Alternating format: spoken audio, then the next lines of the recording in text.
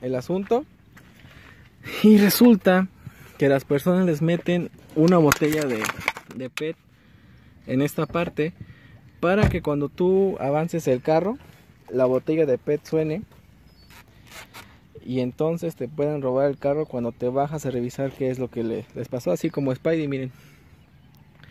Se suben, dejas tu carro prendido o las llaves ahí pegadas y adiós carro.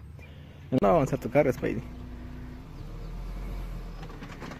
Avanza su carro, escucha que tiene un ruido, lo para,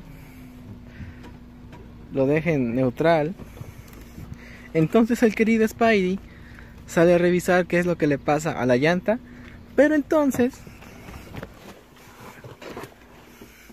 tío Gatiño Rata agarra su carro y se lo roba. bueno amigos, es muy lamentable que esté pasando esto aquí en México. Pero así se están robando los carros ya con unas botellas de PET.